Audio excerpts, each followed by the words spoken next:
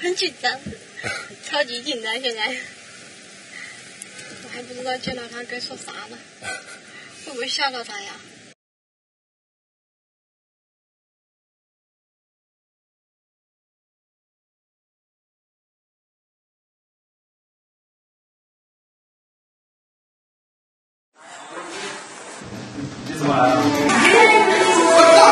今天我我要给陈伟一个惊喜，而不是惊吓。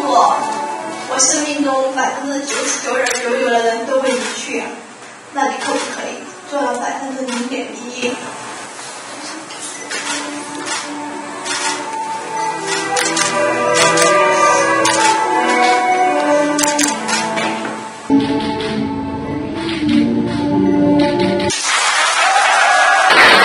我忠心于你，忠心于你，忠诚于你，以后我用我的余生来守护你。